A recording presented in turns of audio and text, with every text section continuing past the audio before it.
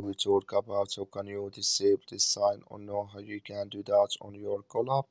So you just follow these ways then it's going to work with you. So all you have to do you just go here go above your photo profile click on it. So then it's going to show for you a list like this then all you have to do now just go here above this sign click on it.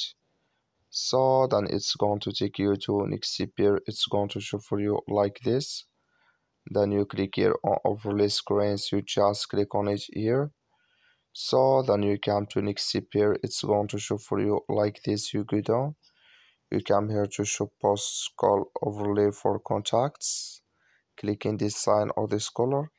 Like you see color it's gone. That's mean show post call overlay for contacts disable with us now. So that's all you have to do. Thank you for watching. Don't forget to support us by liking